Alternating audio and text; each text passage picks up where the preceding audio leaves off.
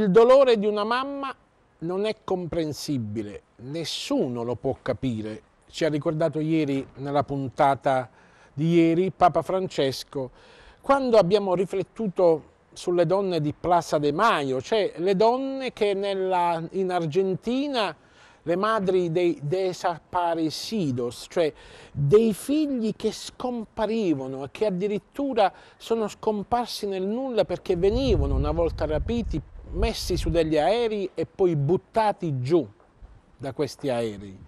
Come si fa a dire a queste mamme che il Signore è con loro, che il Signore è con te? E eh, queste situazioni non hanno, non hanno delle risposte ma il Papa diceva io a queste donne permetto tutte. E poi il Papa ci dice che vi è una, una memoria materna che è qualcosa di fisico ma anche una, una, una memoria di carne e di ossa.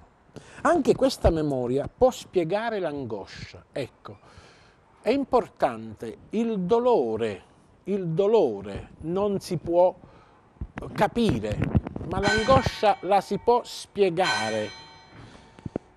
Tante volte dicono, ma dov'era la Chiesa in quel momento? Perché non ci ha difesi? E il Papa dice, io sto zitto e le accompagno. La disperazione de delle mamme di Plaza de Mayo è terribile. Non possiamo far altro che accompagnarle e rispettare il loro dolore, prenderle per mano ma è difficile. Io sto zitto e le accompagno. Dov'è la Chiesa?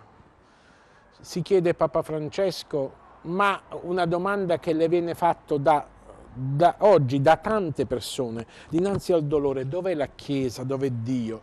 Non c'è, non c'è una risposta, c'è semplicemente una presenza appunto fisica, una presenza silenziosa, perché il miglior modo per rispettare il dolore delle mamme, il dolore delle persone, è il silenzio. È il silenzio.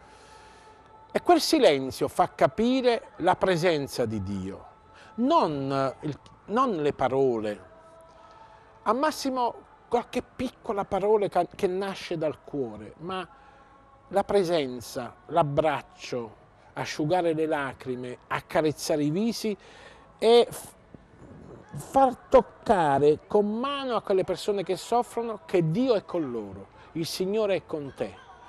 Nei Vangeli non è scritto, ma a me piace pensare che Maria si sia commossa durante l'annunciazione e che Gabriele abbia asciugato le sue lacrime e l'abbia accarezzata, perché la carezza nostra, la carezza che nasce dal cuore, una mano che asciuga le lacrime ci dice che Dio è con noi, che il Signore è con noi.